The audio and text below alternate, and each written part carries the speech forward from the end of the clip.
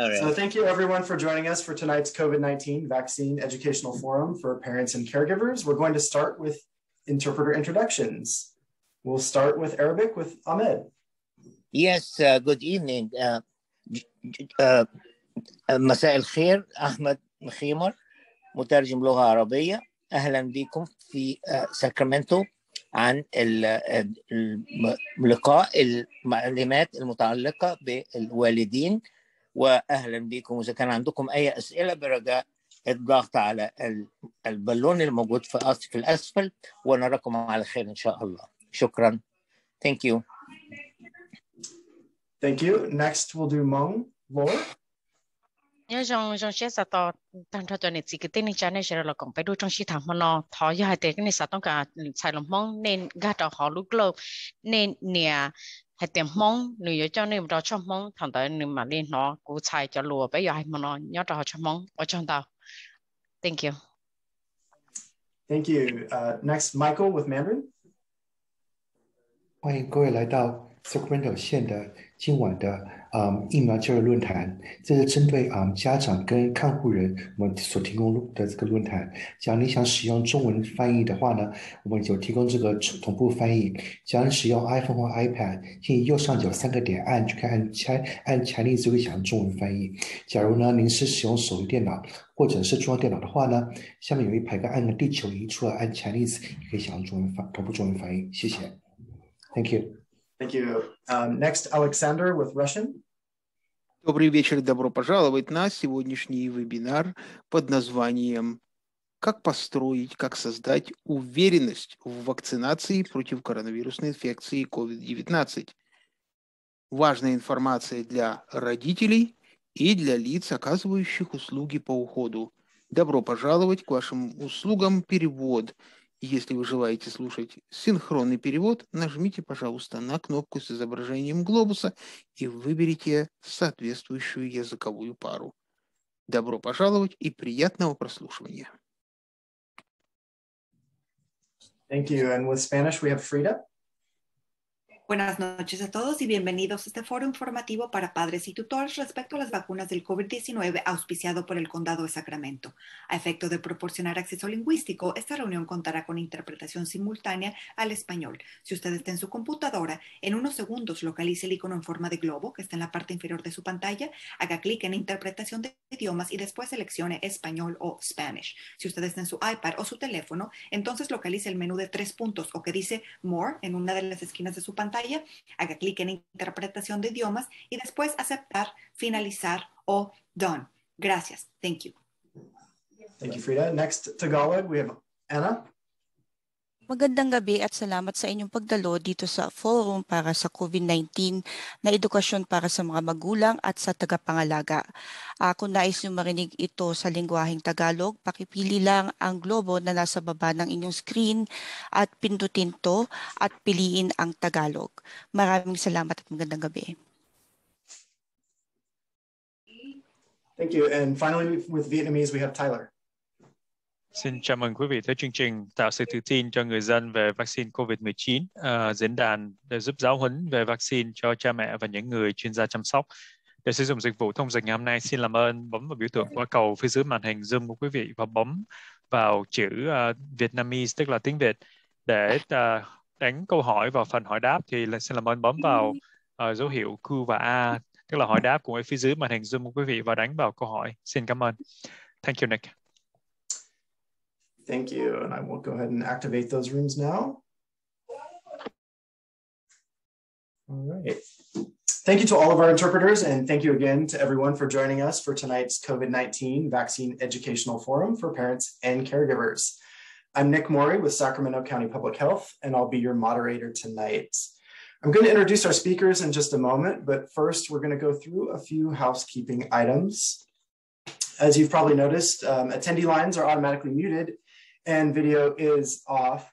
We are recording this webinar and we plan to post the recording online at both the Sacramento County website and the SAC Collab website, likely sometime tomorrow. So if you miss a portion of it or someone you know would like to view it, um, you'll be able to do so at that time. Um, each of our speakers are going to make a presentation this evening and uh, we will pause periodically to answer a few questions. Um, if you'd like to submit a question, you can use the Q&A feature on Zoom to do so. Uh, we should also have some additional time at the end of the program uh, for more questions.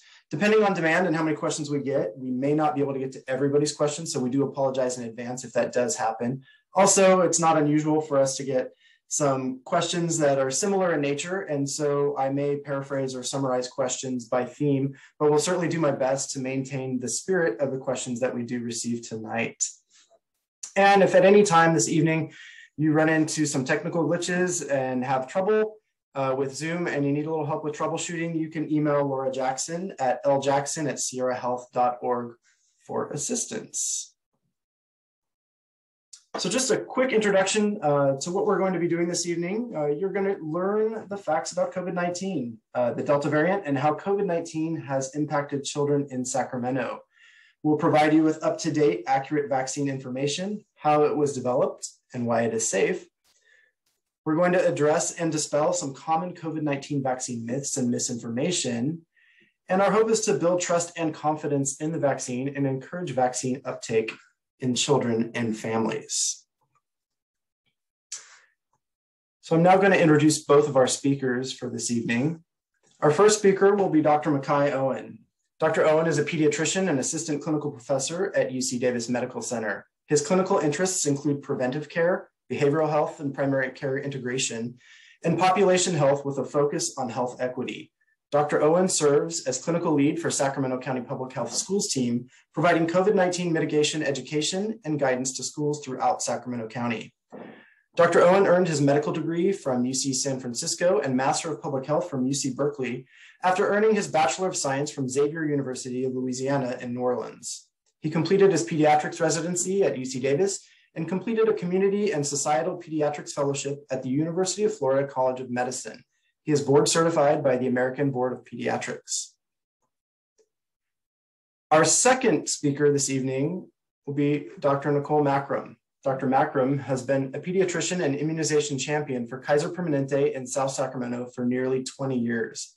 Dr. Macrum graduated from Washington University School of Medicine after completing her undergraduate degree at the University of Michigan.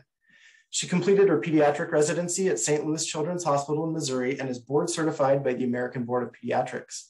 Prior to working at Kaiser Permanente, Dr. Macrum practiced medicine at Southern Illinois Healthcare Foundation. She is passionate about promoting immunizations and overall wellness to Kaiser Permanente members and the community. When not practicing medicine, you can find her cycling or playing the violin with local musical groups and raising her two teenagers with her husband.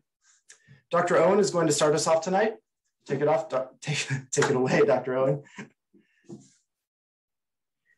All right, thanks, Nick. So I'm going to start by talking about uh, some of the basics uh, of COVID-19. And we've all been impacted by COVID-19, and I think we've all spent some time thinking about how the virus spreads. So I won't spend a lot of time talking about the basics because we want to spend uh, most of our time today talking about uh, vaccine safety and vaccine efficacy. But briefly, COVID-19 is a contagious respiratory illness. Uh, symptoms may appear two to 14 day, days after someone ex is exposed by the virus. And it's, uh, experts believe that it, it mostly spreads from person to person through droplets in the air when an infected person coughs, sneezes, or talks. As we'll talk about a little bit later, uh, COVID-19 affects different people uh, in different ways, and symptoms may range from mild uh, to severe illness. Next slide.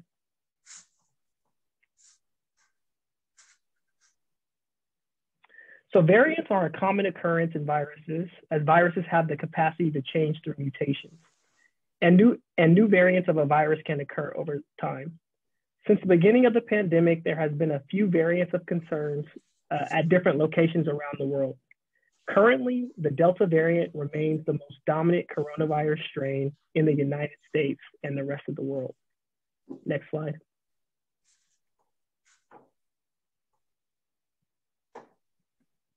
So a few important facts about the Delta variant. So it's two to four times more contagious than the original strain and unvaccinated people are at higher risk of contracting the Delta variant, a uh, Delta variant, excuse me. Uh, the Delta variant can lead to hyper-local outbreaks. Uh, so we've seen that across the country in areas where there is an, an unimmunized, uh, highly unimmunized population uh, surrounded by a population uh, that is more immunized, immunized, it can lead to rapid transmission in creating a hyperlocal outbreak among unimmunized populations. And we've also seen that children can spread the Delta uh, variant uh, more easily than the original variant that we saw at the beginning of the pandemic. And we know that vaccination is the best protection against the Delta variant. Next slide. So now I'm going to transition and speak broadly about the impact of COVID-19 on children. For most children and adolescents, COVID-19 will be a mild illness. But as we talk about a little bit later, that does not mean that children and adolescents cannot uh, have serious uh, medical complications. And according to the American Academy of Pediatrics and the Children's Hospital Association, children represent about 16% of all cases of COVID-19 uh, within the United States. And although fewer children have been infected with COVID 19 compared to adults, we know that children can be infected with the virus. We know that they can ha- become sick from the virus and they can have serious medical complications from the virus. And children can spread the, the COVID 19, can spread COVID 19 to others. Next slide. Some of the co- common symptoms of COVID 19 in children are displayed here on this slide. And what you'll see here is that uh, the, the symptoms in children are generally nonspecific and are often difficult to, to distinguish from other common illnesses such as cold, flu, uh, headaches, uh, or gastrointestinal illnesses. And though most children that contract COVID 19 will have a mild illness, sometimes with none of these symptoms at all, and sometimes with only a few of these symptoms, some children will have a more significant illness. Next slide. An example of that more serious illness is MISC, or multisystem inflammatory syndrome in children. MISC is a serious condition associated with COVID-19 where different body parts can become inflamed, including the heart, lungs, kidneys, brain, skin, eyes, or gastrointestinal organs.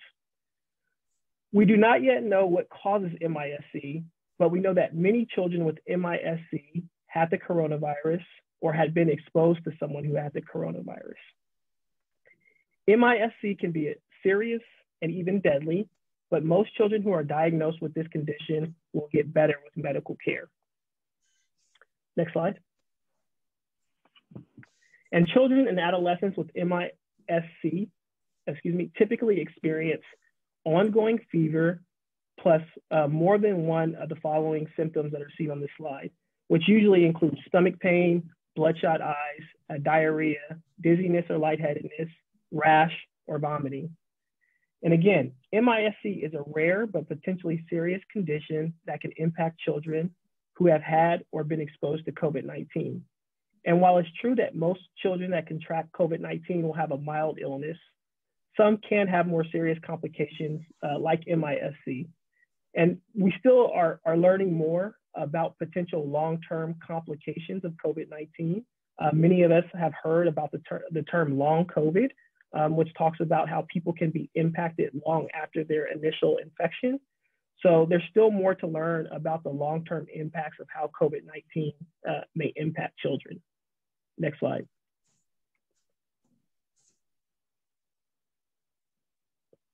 So now I'm going to transition to talk about some national and local data regarding uh, COVID-19. Next slide.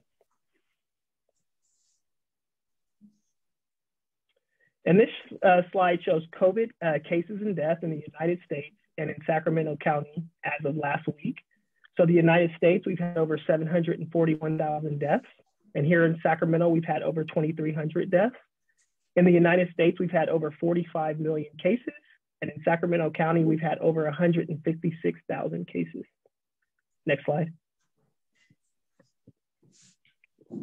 This graph shows our local cases and case rate over time. And as we can see here, the COVID-19 pandemic has come in different waves. And currently, uh, we are uh, looking to see a, a, recent drop in transmission uh, compared to a couple weeks ago. Uh, and we hope that this will be an on, uh, a continuing trend. Next slide. In terms of COVID 19 cases for children and adolescents, I want to start with a look at the national numbers. So in total, there have been over 6 million total child uh, COVID-19 cases since the beginning of the pandemic. And 10 states have reported more than 200,000 child cases. And one state uh, uh, reported few, only one state reported fewer than 10,000 cases. Next slide. In terms of the cumulative cases, from the beginning of the pandemic, uh, pandemic until now, children represented about 16.6% of all uh, available cases. And this is likely to be an underestimate because at various points in times during the pandemic, children were recommended to not test as frequently as adults, um, but they still comprise about 16.6% of cases, which again likely, likely rep represents an underestimate. Next slide. And this graph shows the trends in pediatric cases over time. And what we can see now is that we only have recently um, peaked in terms of pediatric cases of COVID-19.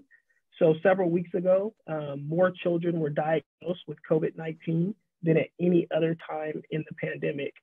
And currently we're seeing a drop in transmission uh, nationally, but we still see relatively elevated levels of COVID-19 transmission among children across the United States. Next slide.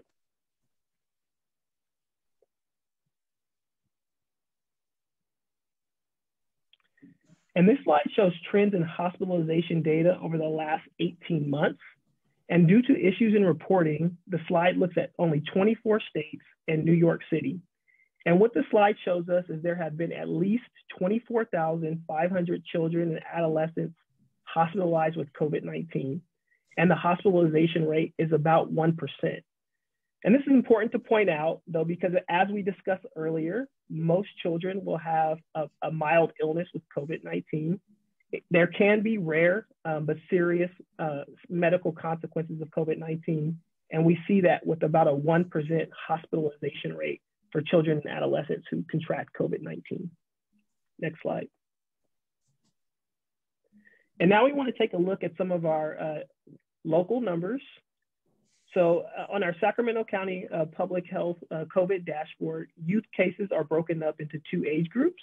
So children ages zero to nine and youth 10 to 19 years old. And for children zero to nine, we've had a cumulative total of about 9,400 cases. And for youth 10 to 19, we've had a cumulative total of just over 17,000 cases. Next slide.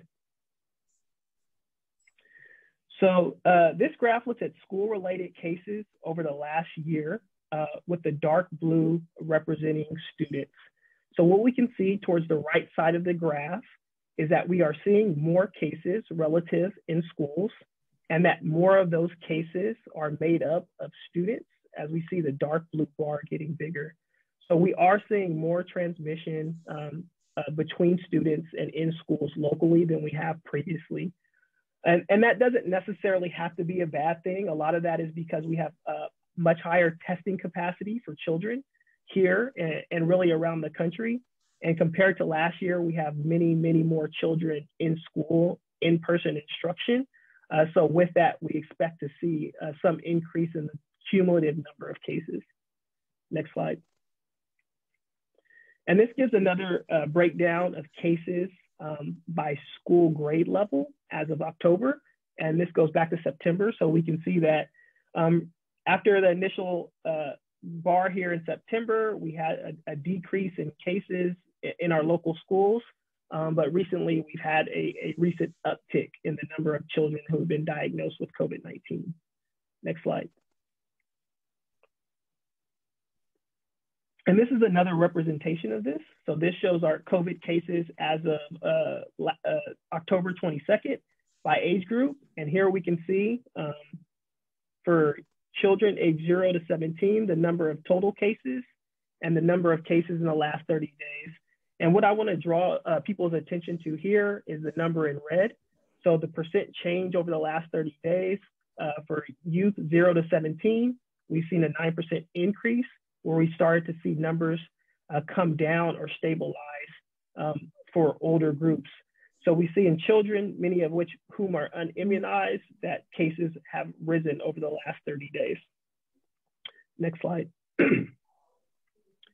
now we're going to take a look at who's vaccinated and some of the uh, public health data for vaccine efficacy and success. Next slide. So this is a, a look at the cumulative number of COVID-19 vaccines for children and adolescents under the age of 18 in the United States. So we see here that there's over 13 million children and adolescents who have received at least one dose and over 11 million children and over 11 million adolescents who are fully vaccinated. Next slide. And this map uh, gives a break, breakdown of the proportion of eligible children ages 12 to 17 who have received at least one dose of a COVID-19 uh, vaccine uh, by state residents. And we can see here that in California, uh, that number is relatively high compared to other states at 72%. Next slide. And here in Sacramento County, um, with adolescents aged 12 to 17, we have 56% uh, of, of our youth are at least partially vaccinated, so lagging behind the 72% number uh, of California as a whole. Next slide. Mm -hmm. And just in terms of Sacramento County in general, looking at all populations, we have a, uh, about 57.8% of our population is fully vaccinated. Next slide. So this, this slide looks at kind of some of the success of our local vaccine, and it shows our case rates of vaccinated versus not vaccinated. So the red line here shows case rates over time amongst vac not vac unvaccinated individuals, and the blue line shows the case rate of vaccinated individuals. So we can see um, that the case rate for un unvaccinated individuals continues to be substantially higher uh, than those for unvaccinated. And the red bar here uh, shows vaccinated, the number of cases among vaccinated individuals versus the number of cases among unvaccinated individuals. And this data is kind of can be somewhat hard to interpret it because it looks at cumulative cases over time. So we wanted to share some data from California Department of Public Health as well. Next slide. So this slide looks at unvaccinated and, and vaccinated data in terms of cases. So here, uh, the red line is cases among unvaccinated and the blue line is cases among vaccinated individuals. And we could see that from October uh, 18th through October 24th, unvaccinated people were 6.8 times more likely to get COVID-19. Uh, next slide.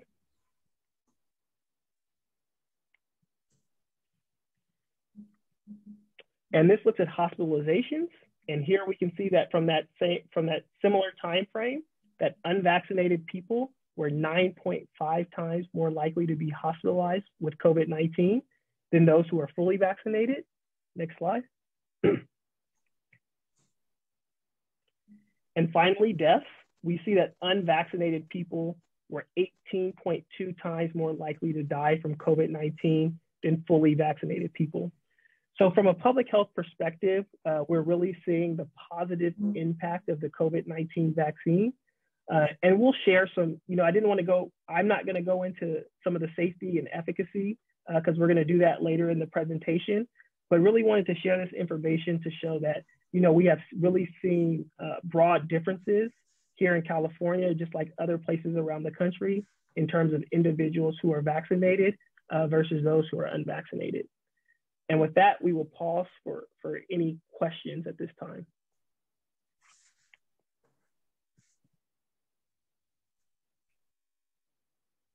All right. Um,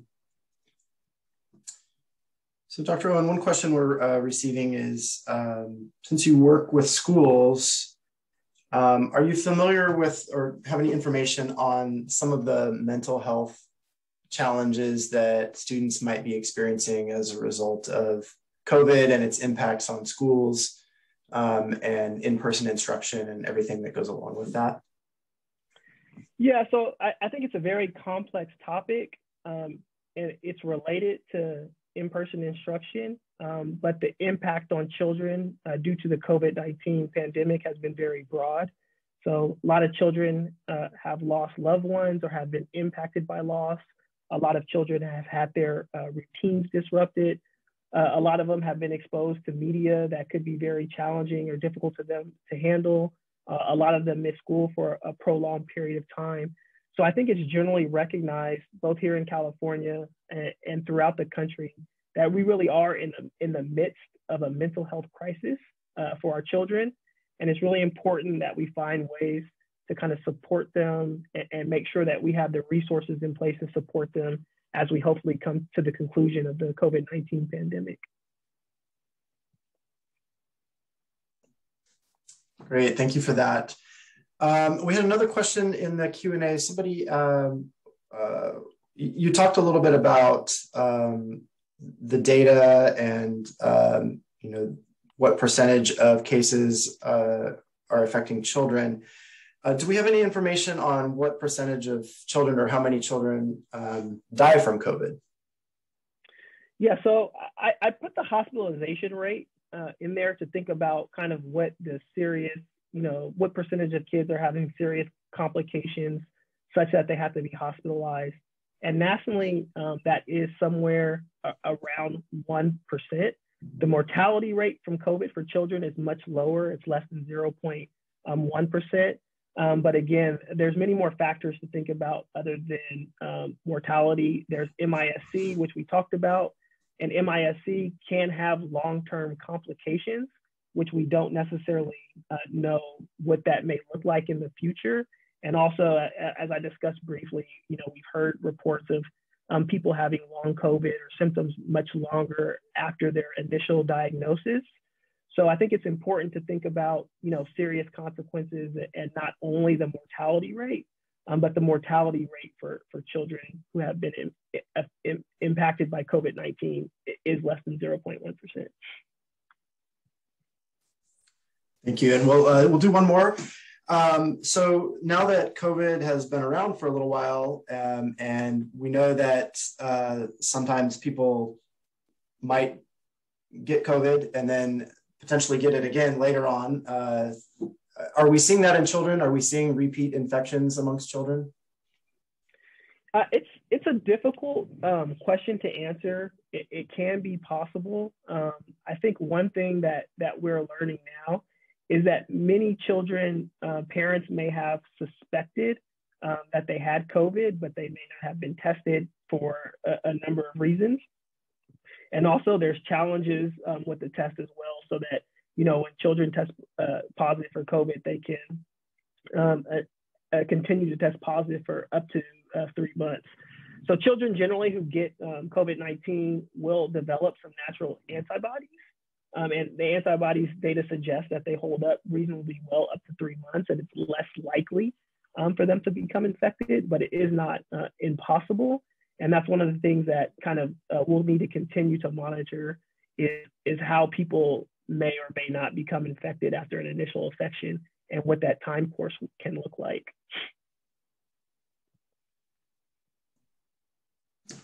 Great, thank you, Dr. Owen. Now we're going to turn it over to Dr. Macrum. Uh, thanks to Dr. Owen. You set up everything beautifully. Thanks so much. Um, my job today is to talk a lot about the vaccines and the vaccine pretty much singular that we have available for our kids right now, the Pfizer mRNA vaccine, both effective and safe. Next slide. This is a quick summary of all the vaccines currently available in the US, but as we know for our kids, unless they're 18 or older, Pfizer is the one that we have available for them. Next slide. So I think there's some concern that the vaccines were developed very, very quickly. So just so you know, uh, the vaccine development process for the COVID vaccines was the same as it was for all the vaccines that your kids get. So they had to go through the same rigorous safety and efficacy testing at, but we were able to do a lot faster by sort of overlapping some of the stages of the vaccines. Um, also good to know is that the CDC is monitoring this vaccine like none other before. So of course you you may have heard about VAERS. the, the reporting system for any adverse events, but there are multiple different ways that the CDC and other organizations are tracking safety of this vaccine. Next slide. This is a quick summary of how the Pfizer and Moderna, because Moderna is also an mRNA vaccine work. It's amazing technology. It's not new technology, but it is our first time to get to really put it into play for a vaccine for humans on such a large scale. This is something that's been researched for the last 20 years and luckily perfected in time for this event. The the vaccine itself is quite a marvel. It is incredibly simple. There's not very much to it. It has a lipid outer layer, which is just like a fatty layer. And that's just to protect the contents inside, which is just this little set of instructions um, called messenger RNA. And these, this messenger RNA works as a blueprint to the body to make the spike protein. Spike protein is what the virus uses to attack our bodies our own body makes some of the spike protein, and then our own body says, this is not supposed to be here, and it mounts an amazing immune response uh, to the, the spike protein. This centers all of our response on blocking the entrance of this virus into our body, which is why these vaccines are so effective. Um, also, because they are so simple, it is why it is easy to manufacture them and create them uh, quickly. Um, sorry, a lighting difficulty. And uh, uh, also part of the beauty if we need to make some changes in the future. Um, next slide. This is a sort of comparison of the mRNA vaccines to the flu shot, something you may be very familiar with. Our flu shots contain a little bit of killed virus. The flu mist, if you're aware of this, if you have kids that are, are terrified of needles, you may have had a chance to get this for them, actually calls, carries a little bit of uh, live, what we call attenuated virus. So a virus that cannot cause full-blown flu, but is live and is squirted into the nose. The flu shot, as I mentioned, has the killed virus. COVID-19 vaccines have even less. They just have that little set of instructions. There's absolutely no piece of the COVID-19 virus in them.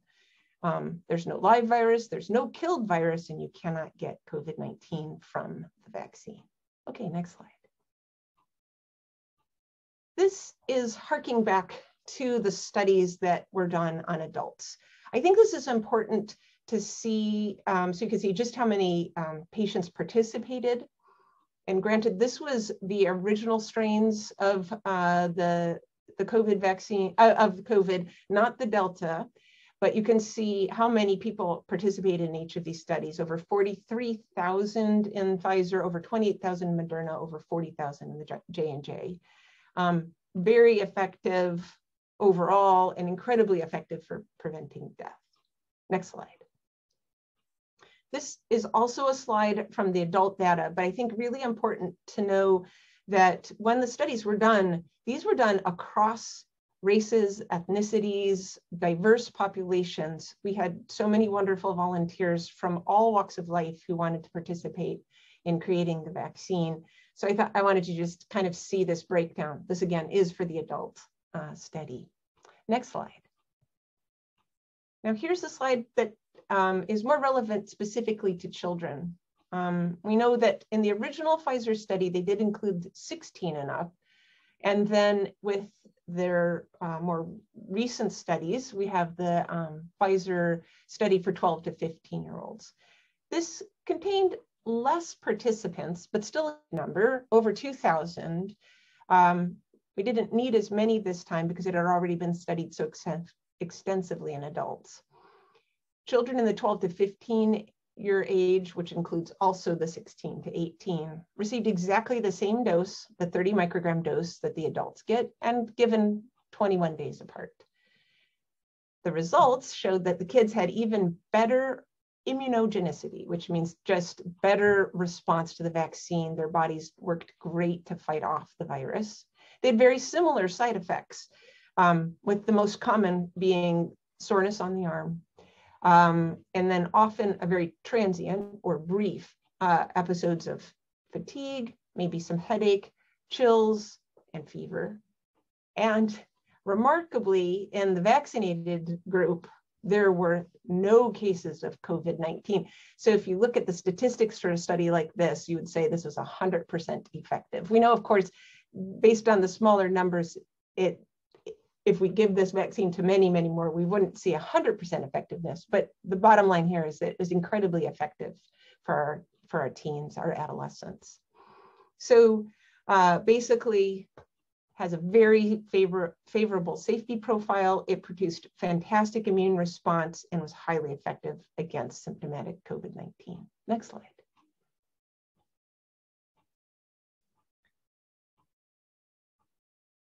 This is summary a little bit about this. And now we know since May, children 12 and older can get this Pfizer BioNTech mRNA vaccine. Next slide.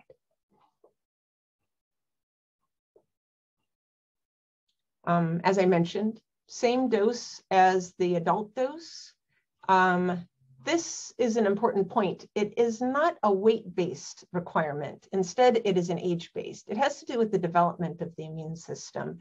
And um, at our upcoming uh, talk, we're going to talk about the lower dose that our younger kids will be getting. But um, the 12 and up uh, did fantastic with the adult size dose. And um, another important point, um, initially uh, we spaced out the vaccine. So if your child had gotten their Tdap booster, uh, we recommended waiting 14 days before they came to get their COVID. Uh, we realize now that's not a requirement, not necessary, and it's very safe for your, your kids to get multiple vaccines at the same time. Their immune systems are fantastic at multitasking. So, next slide. So now we've talked about how effective it is, but you might want to know about the safety. So we did talk about the fact um, that the studies show that the vaccine is safe and effective. Um, and now we have even some additional data for our younger age groups. Um, it's incredibly closely monitored, more closely than any other vaccine in history. The safety studies have shown it, it is safe for our kids. And um, kids do get some side effects, just like adults. Uh, it's really important for the kids to know that going in. It's important as a parent to know that going in, um, that they may have these symptoms lasting typically two or three days at most and then resolving. So we definitely recommend this for anyone 12 and up. Great to talk to us pediatricians if you have questions. Next slide. This is a topic which I think a lot of parents have maybe heard about. And I really wanted to talk about it because there's some scary words here, some scary thoughts, and I want to make sure everyone is well informed. So one of the side effects I haven't spoken about yet, but we do know exists with the vaccine is something called myocarditis or pericarditis. So those are big words. You may never have heard them before. Um, this whole COVID vaccine uh, incident. But myocarditis means an inflammation of the heart tissue, and pericarditis means an inflammation of the tissue around the heart. Now that I've explained it, it probably still sounds pretty scary. Here's the good news. Myocarditis and pericarditis are rare, very rare. Um, the most common group to see this following the vaccine is in males uh, and in the adolescent age range up into the early 20s at the rate of about two or three per 100,000. In girls and females, it's about a tenth of this. Um, the good news about this too is that it's incredibly mild. Um, a lot of times the kids present with some chest pain and then the very next day feel better already. They'll come in, we'll do some tests. We might find some lab abnormalities and then they're given ibuprofen and they feel better. Uh, most commonly, it resolves within a week, and if not sooner, and with no residual or lasting um, effect. This is very different from COVID itself. I think it's important. I don't think everyone realizes this, but COVID even apart from that MIS-C that Dr. Owens was speaking about, COVID causes myocarditis and much more frequently. In the same age range that we were talking about, the cases of about two or three per 100,000, that same group will have one out of 45 with a case of COVID can develop a myocarditis. And this myocarditis can be mild, but often is much more severe and much more lasting and lingering. So we know there are some very rare complications of myocarditis, mild, much, much lower risk to get the vaccine than to get COVID-19. Next slide. This uh, is a little plug for the flu vaccine. We would love all our kids in the community to have a chance to get their flu protection as well. So just a reminder, if you're coming in to get your COVID-19 shot, you can get your flu shot at the same time. This is great for parents too. If you had to come in for your COVID-19 booster, go ahead and get your flu shot same time. I will be a case in point. I did exactly that and uh, I, I managed okay. I had a very sore arm, but other than that, I did fine. So next slide. This is a quick review of the um, vaccine itself. So we know that there are three vaccines currently with emergency use authorization in the US. Um, and the Pfizer is actually a full FDA approved vaccine now for 16 and older. And just as of uh, just as of Tuesday, we got our EUA for the kids as well, 5 to 11. They've all been through rigorous FDA safety processes, rigorous testing, um, three-phase uh, trials. They're all highly effective at preventing COVID-19 disease and spread. All three produce antibody responses, and this is important, not just antibodies, but also memory T cells responses and B cell responses. So why this is important is a lot of times you hear about antibody levels, maybe antibody levels are falling. It doesn't mean that the vaccine is not effective anymore. Uh, you still have this wonderful backup of immunity, the T cells and B cells. All right. And oh, also very important is that these vaccines all offer excellent protection against the variants, including the Delta variant. Uh, next slide. Very important with the two-dose vaccine to get both doses. Um, a single vaccine of the two-dose vaccines, the Moderna and the Pfizer, does not offer enough protection. This was sort of tested in, in Great Britain where they started with a single vaccine in everyone first when they had limited supply and really needed the second one to get the full coverage and the full protection. Remember that all vaccines are free in our country. We have amazing access. We're very lucky, very privileged in our country. They're available now for five and up for Pfizer and for 18 and up for Moderna and J&J. Over, way more than a billion, close to 7 billion people in the world have been vaccinated and we really do hope that the vaccines will bring an end to the pandemic. Thanks. Next slide.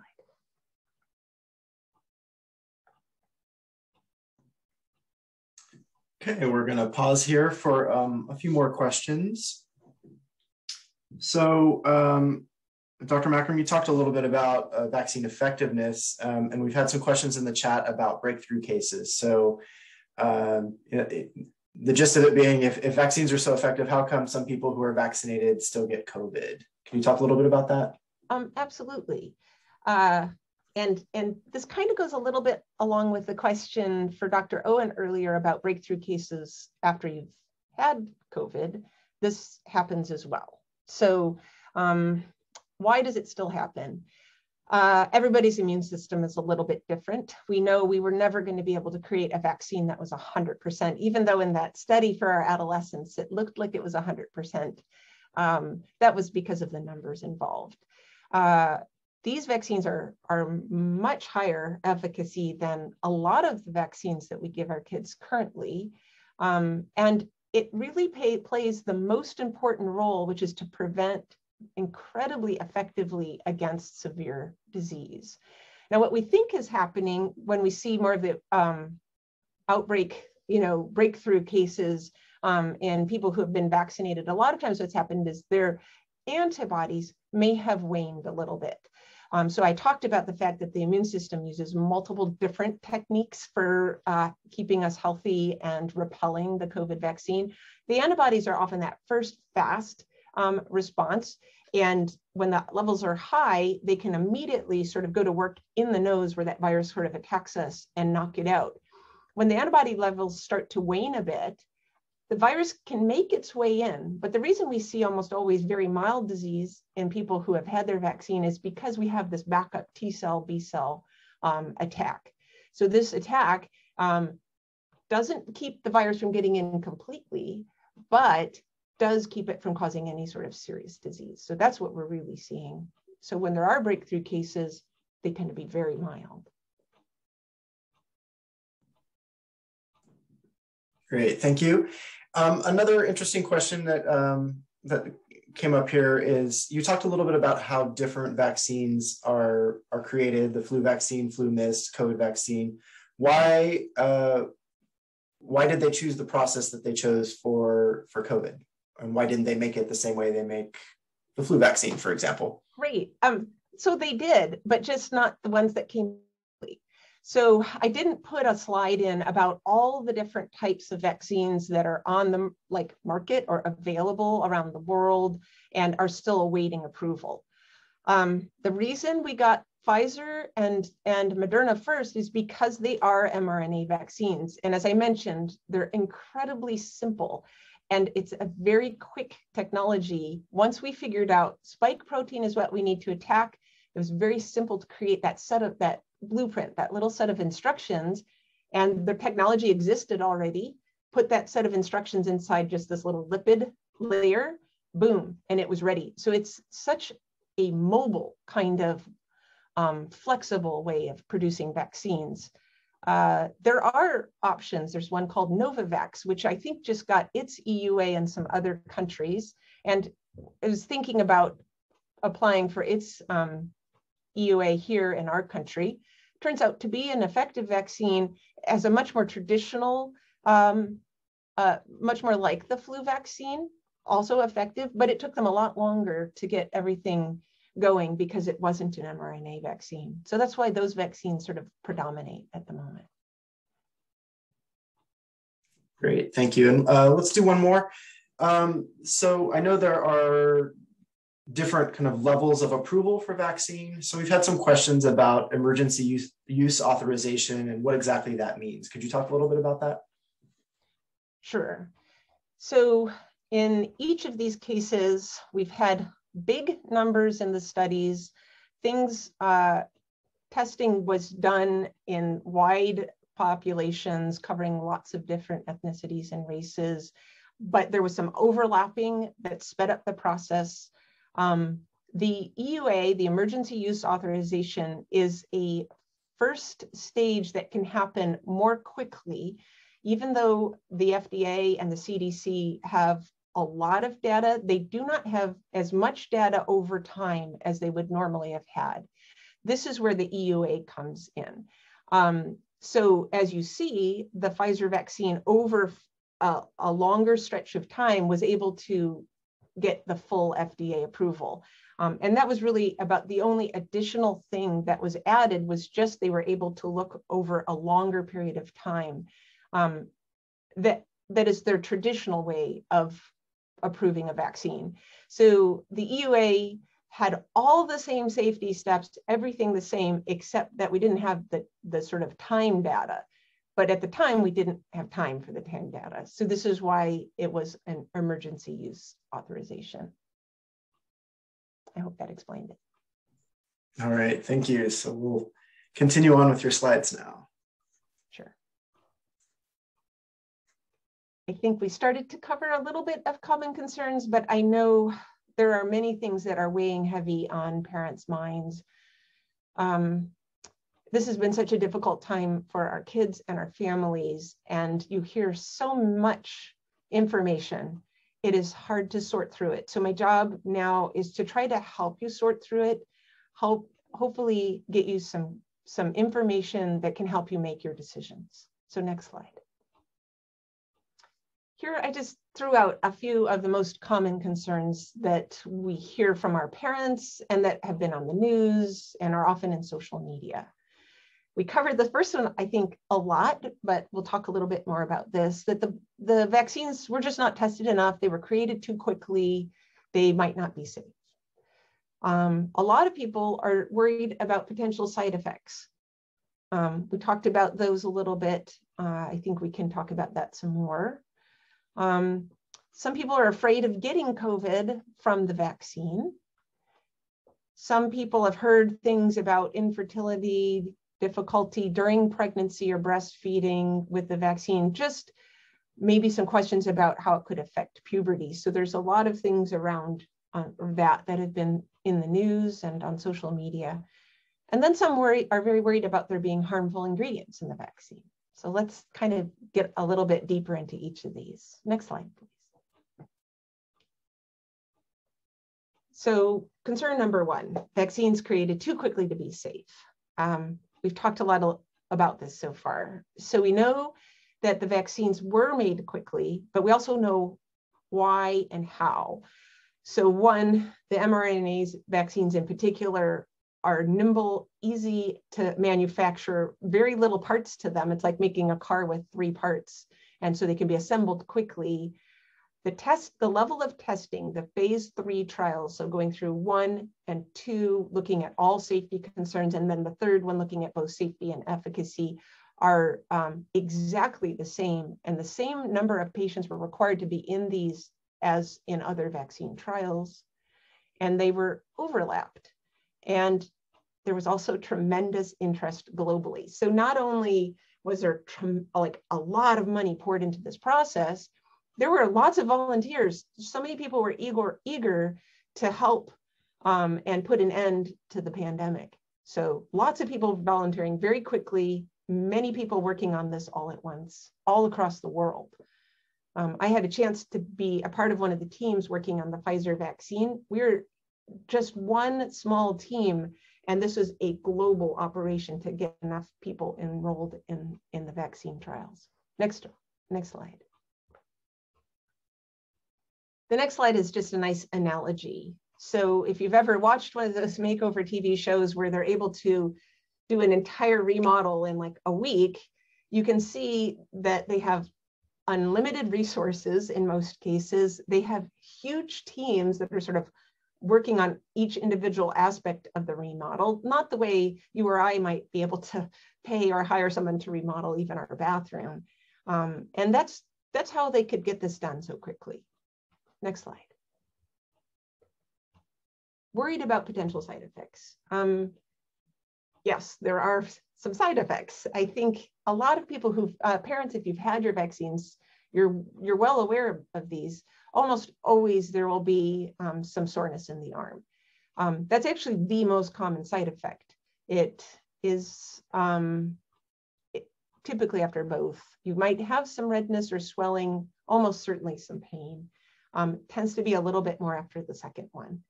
Um, throughout the rest of the body, the real common side effects are just sometimes some fatigue, some headache, some muscle aches, some chills, some fever. Some people have a little bit of upset stomach. You may have also heard about the fact that lymph nodes on that side where you got your shot can sometimes swell.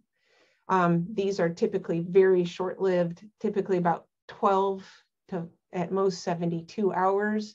And it's a sign that your body's building protection. I think as parents, we need to let our kids know about this so they're not so scared if it happens.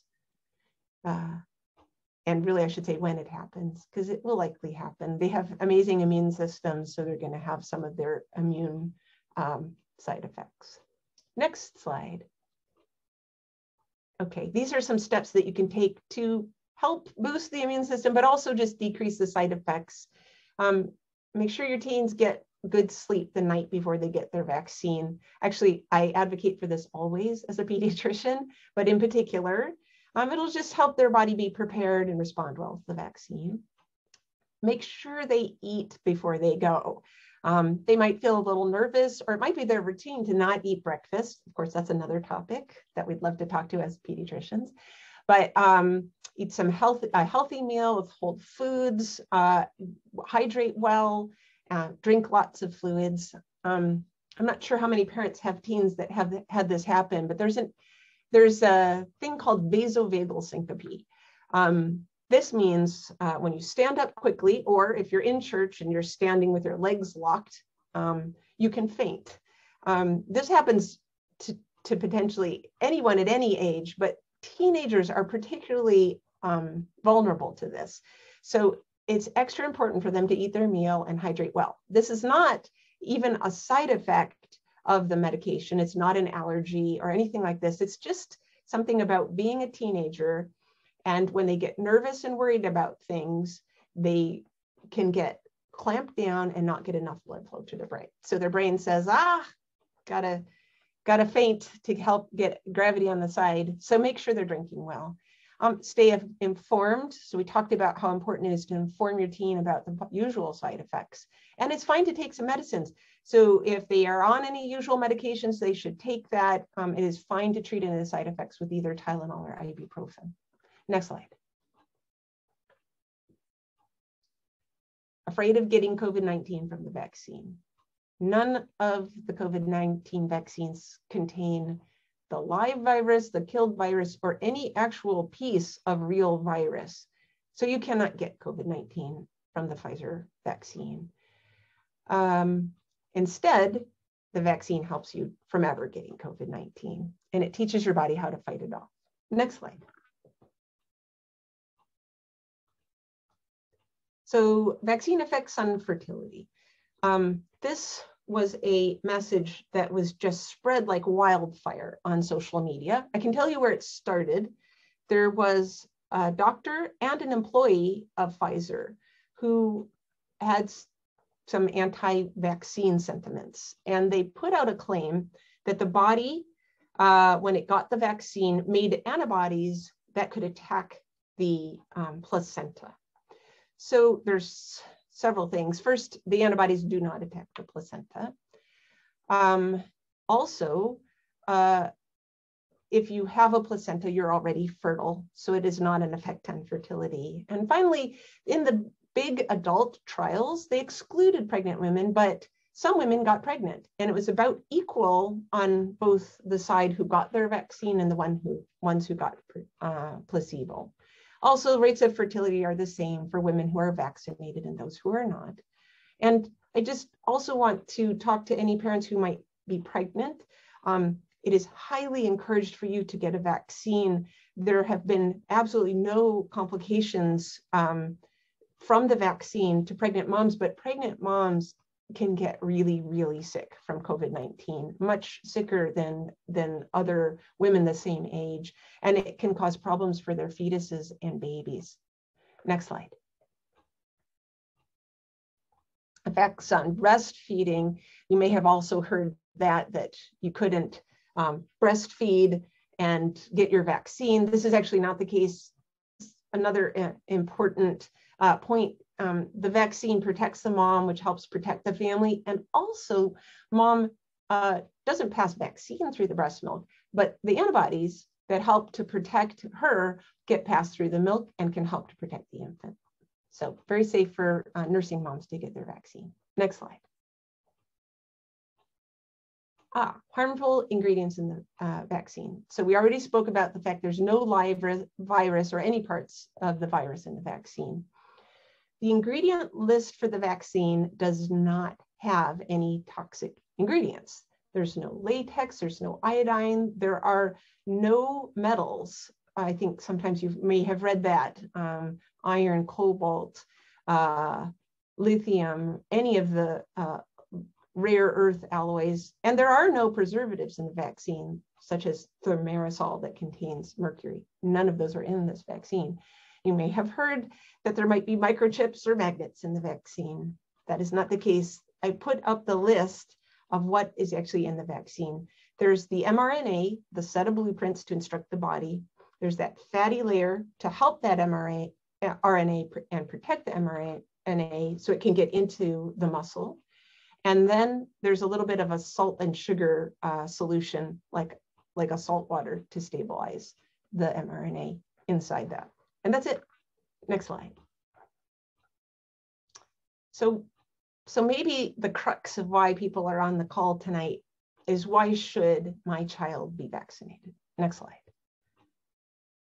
I think uh, I think that Dr. Owen set this up very well by letting you know that while thank goodness kids do so well with COVID, um, kids do get sick with COVID. So the bottom line here is the most important reason for you to get your kids vaccinated is to protect your child. We know lots of cases are mild, but even in those mild cases, kids can go on to develop a month later MIS-C that Dr. Owen talked about earlier. The Delta variant changed everything for our kids. Whereas early on in the course, they, they were not big spreaders.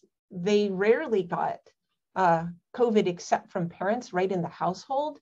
That is no longer the case. And they actually make up a higher percentage of people getting COVID relative to their percentage in the country.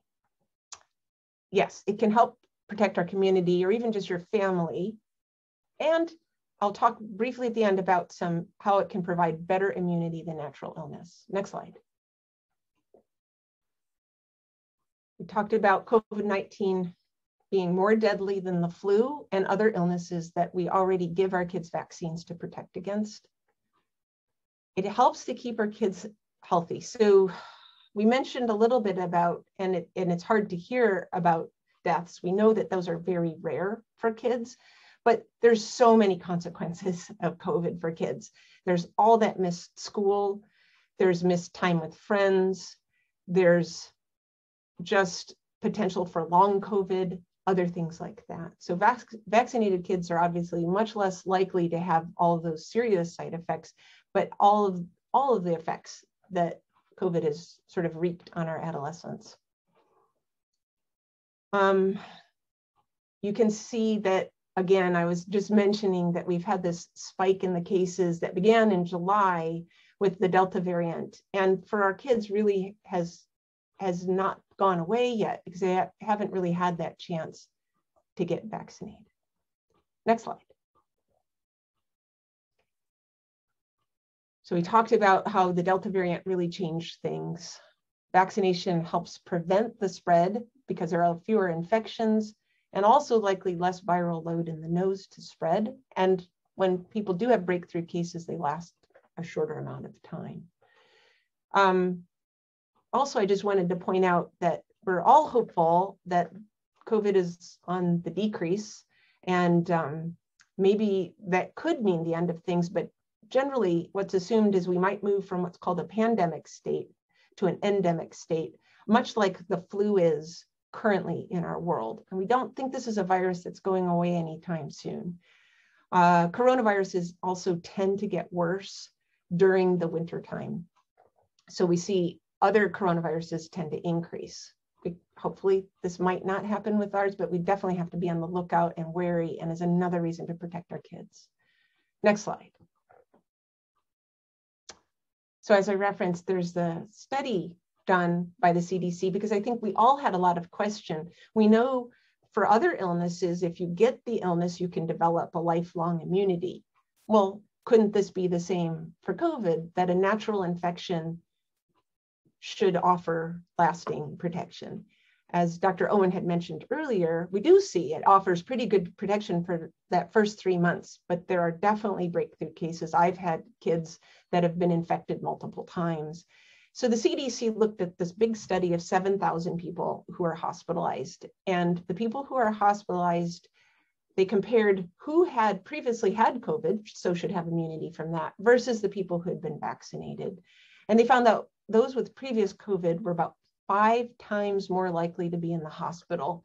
This is a pretty good test showing that the immunization was more effective previously having COVID. Um, there also was this pretty cool study that showed if you'd had COVID and then got your vaccine, you could develop some super immunity. Okay, next slide. Five key summary points. We'll, we'll go through quickly and then open it up for questions. The vaccine is safer than COVID. Evidence is overwhelming. The vaccine can protect you from dying. It can protect you from getting very sick. It can protect you from ending up in the hospital. And the majority of people in the hospital the vast majority are unvaccinated or partially vaccinated.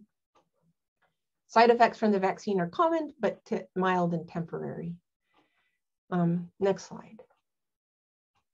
The risk of getting COVID-19 is greater in 2021 than it was in 2020 because of the mutation of the strain to the Delta variant, at least four times as likely to spread. Um, plus, of course, we've opened things up quite a bit, also allowing for more viral spread in general. Um, so pretty much your choices become you can get vaccinated or you can get COVID. Um, and, and as I mentioned, realize that COVID-19 is unlikely to go away. Um, just like we still have flu after the massive flu pandemic of 1918, we have what's called endemic illness. That's what we anticipate will happen for COVID-19. And then next slide. Vaccines offer hope. They really do. They have a hope for ending at least the pandemic portion of this, this COVID. Um, they help prevent transmission we need to have lots of people vaccinated to help achieve this community immunity, but we also want your child to get protected because it's the right thing to do for your child and it's the best way to keep them healthy. It keeps them in school, it keeps them learning. Next slide. Thank you.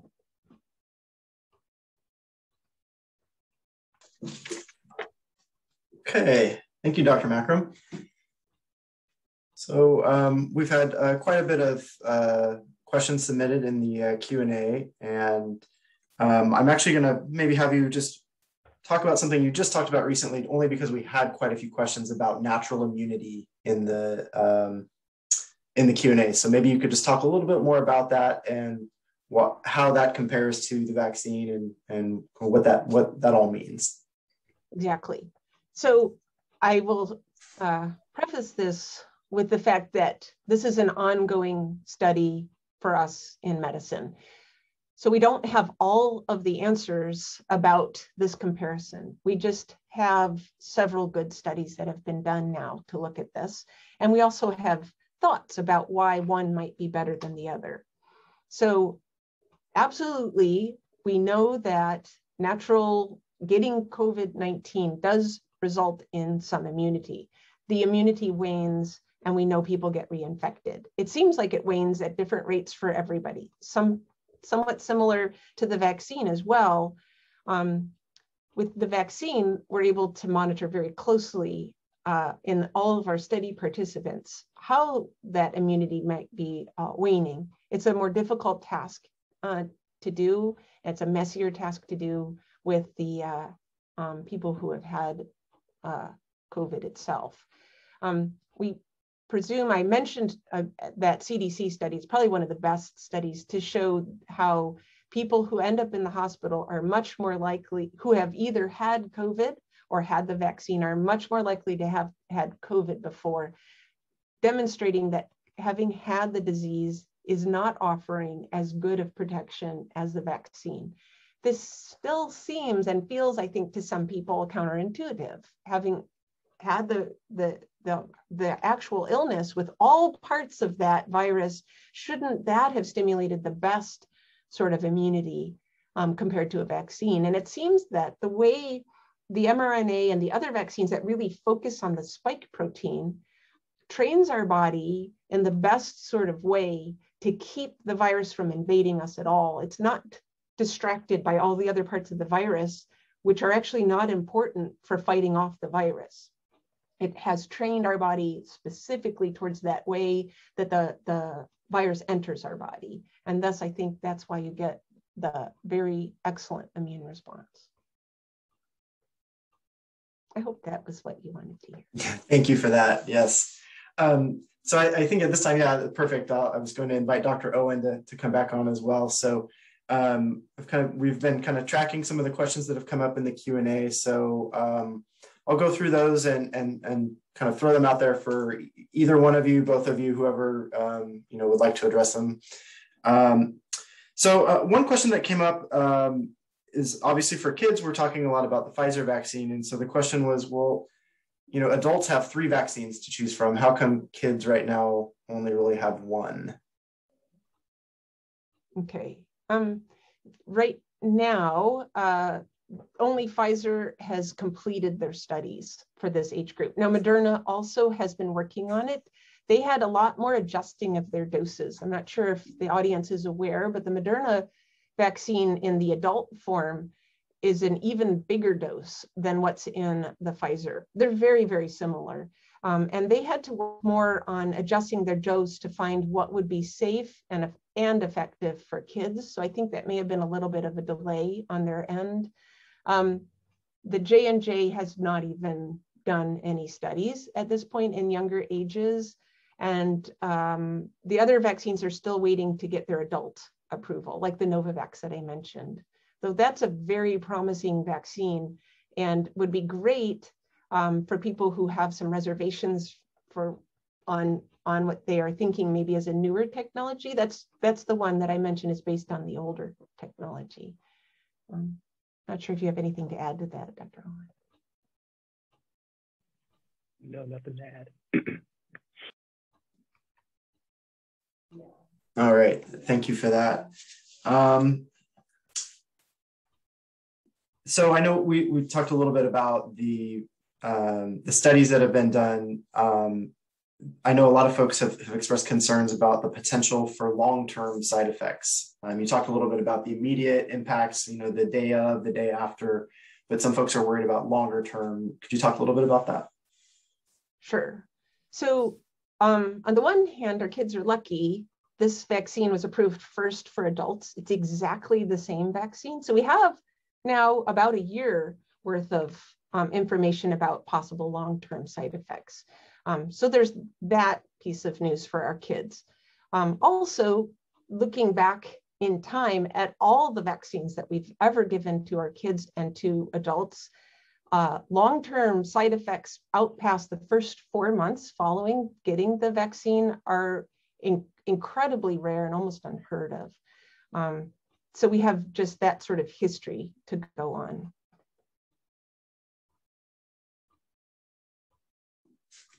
Great, thank you. Um, do we have data or do we know how effectiveness is actually studied? Are kids exposed to COVID um, after they're vaccinated or how, how, are, how are we determining How do we know? So uh, that's a great question. So the way that they're determining that when you hear effectiveness for the vaccine, what they do is, you know, they divide the um, subjects in the study into two groups and they are monitoring for symptoms.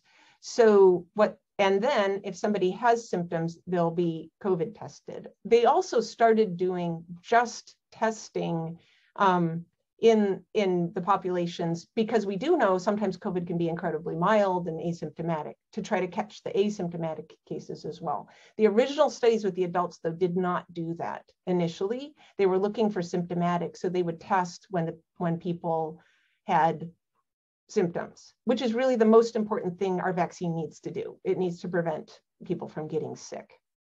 So what they then do is they compare how many people in each group got COVID. And that's how they determine the effectiveness. So the, as I mentioned, the adolescent effectiveness number was 100% because nobody got COVID in the uh, COVID, um, the people who got the shot. The number of people who got COVID in the placebo was also relatively small. It's not a huge number of um, patients. I think it was in the 16 to 20 perhaps range, but that's still 100% effectiveness when you have nobody in the placebo group getting the shot. So these kids are not exposed directly to COVID. Um, they're just living their lives and getting COVID because there's a pandemic and there's a lot of COVID around. So some of the studies are are um, done if it's easier to do in a country like ours where we have a lot more COVID than if we went to New Zealand, we cannot even really do the study because there's no COVID circulating there.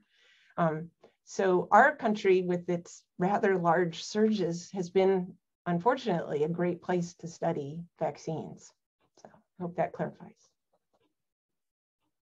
So uh, another question kind of in that same vein is how long have the studies been going on? right? Well, we know that we got approval for the adults. I mean, this they started about how many months before? I guess about it took them around four months, I think, before that study came through. And we know they were already um, studying. So we were starting in the summer of 2020. We were, I remember, I, I have to go back in time. I think time itself has sort of, sort of changed for us during the pandemic. But in the spring, um, we were already working on setting up the designs um, and getting all the certification and doing all the patient consent forms and all of that sort of thing. So all the way back to that time was a start for the adult studies. Um, I can't remember the exact date that we started putting the shots in arms for the study, but it's been since last summer. So it's been a long time. So Dr. Owen, this one uh, might be for you, but also I think Dr. Makram, you mentioned in your bio that you've got a couple of teenagers, so you can probably both speak to this. Um, just in terms of, you know, what are the, the benefits in terms of school and activities of being vaccinated for um, for adolescents?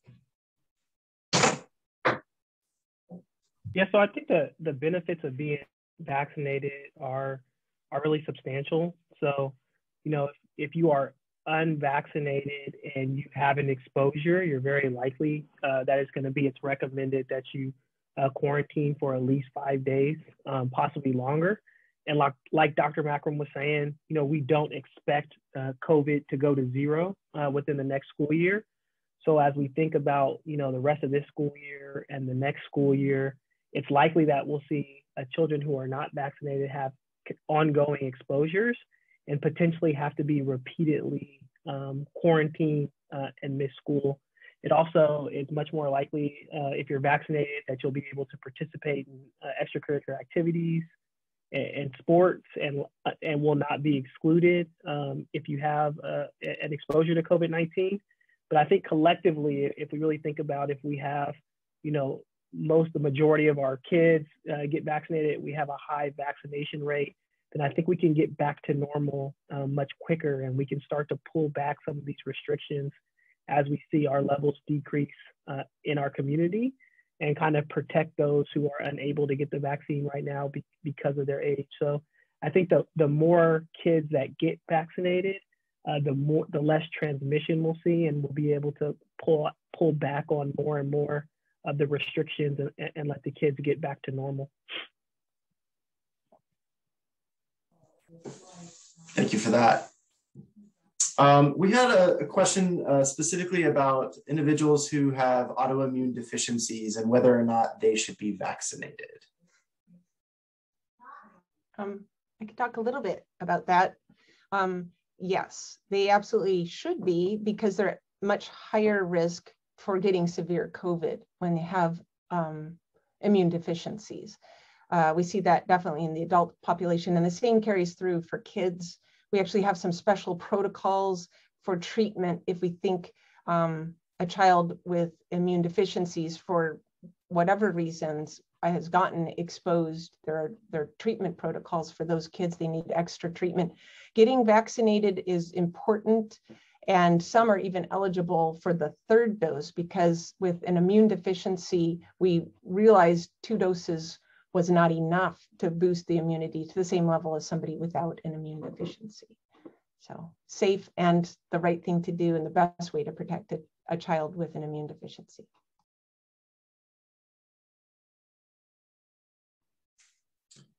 So uh, another question that came up about uh, myocarditis and pericarditis. Um, in terms of those side effects, do we know if those typically occur after the first dose or the second dose? This is a great question. It's most typically after the second. And while we recommend the 21 day spacing between vaccines because it does get that full protection in place the quickest, we're starting some studies to look if pushing that out a couple weeks might decrease that risk of myocarditis. We don't have the data yet, but it's an option for parents who are particularly worried about that side effect to wait four or five or even up to six weeks after the first dose, but realize that entire time your child isn't fully protected. So it is most commonly after the second dose.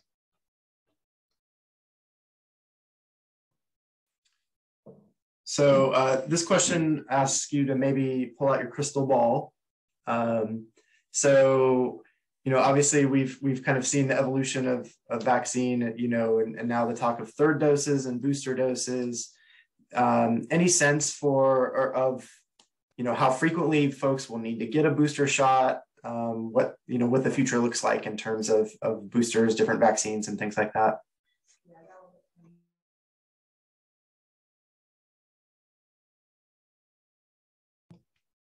It's tricky when there are two of us because I'm not sure which of us is going to handle it, but I'll jump in. I don't mean to butt in. And, and, Dr. Owen, please fill in if you want to. This is a crystal ball question for sure, but um, we don't think that we're going to get into the same sort of cycle that we see with the flu.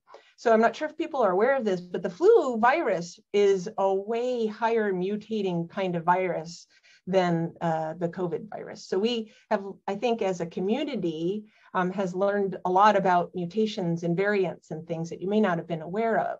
But the reason we get our flu vaccine every year is because the flu mutates even when it's not spreading through um, billions of people the way um, COVID has. It mutates very quickly. So that's why we sort of fall into the having to get a flu vaccine every year to protect us. Every year it gets changed. So we get to improve our immunity for the strains that are circulating. COVID is actually a much slower mutating uh, virus. And our vaccine so far does a fantastic job protecting us against even the variants that have developed. Um, slightly less with the Delta, but still excellent in the 80 to 90% range. So um, we're hopeful that with this lasting T cell and B cell memory, and without new unusual ways that the virus finds of entering our body, and as we get the numbers down in the community, our existing vaccines uh, will, will last and give us enough protection and immunity to prevent serious disease and death and overwhelming the health system without having a, a cycle of boosters but that was the crystal ball that I had. It's a hopeful one.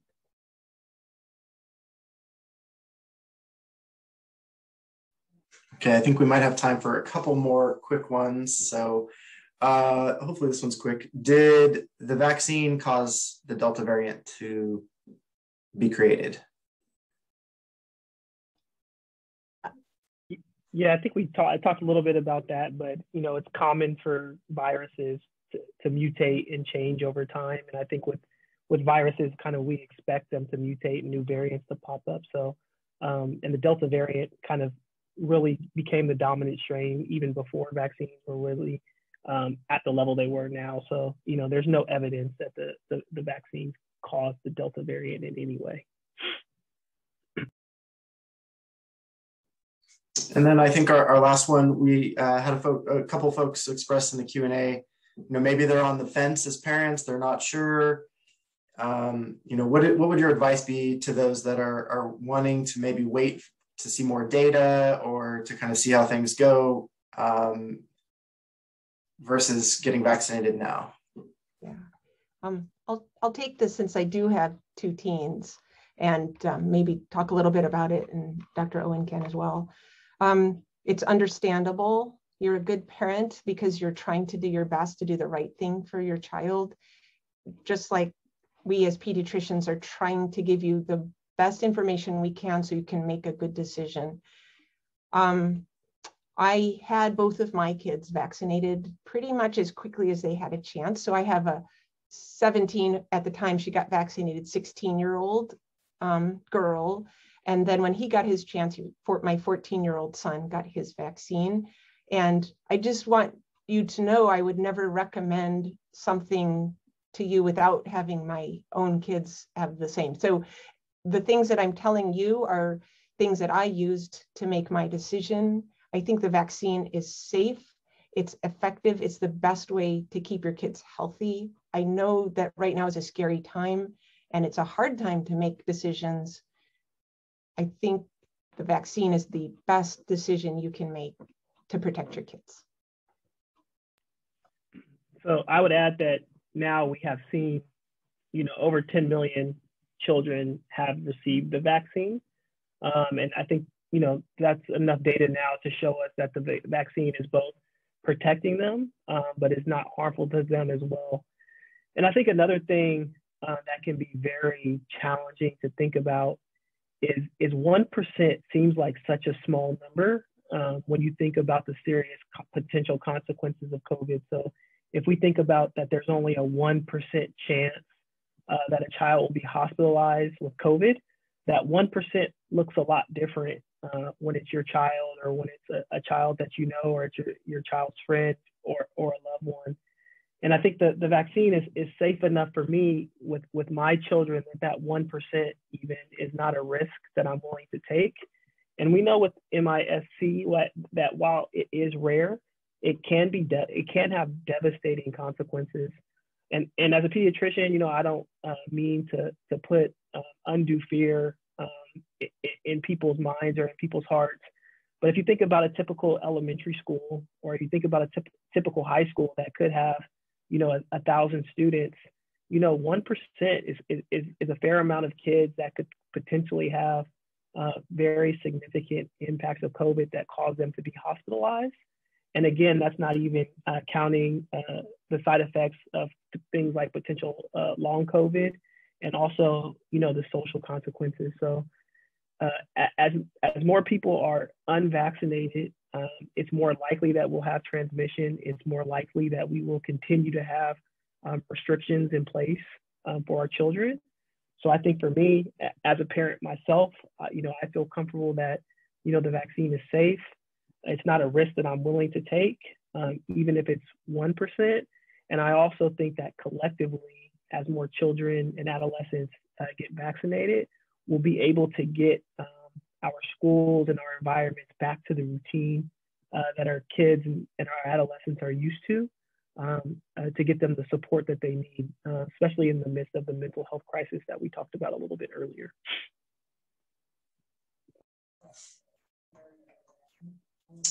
All right. So thank you both for that. Um, I just want to quickly point out um, some additional resources for information, uh, more information on vaccination, uh, where you can find vaccine clinics near you. Uh, myturn.ca.gov was actually just updated today. Um, it also now reflects eligibility for five to 11 year olds, uh, which I know was not the focus of tonight, but that segues into the fact that we are planning another one of these sessions uh, in a couple of weeks on November 16th, where we will focus more on that age group, the five to 11 year olds.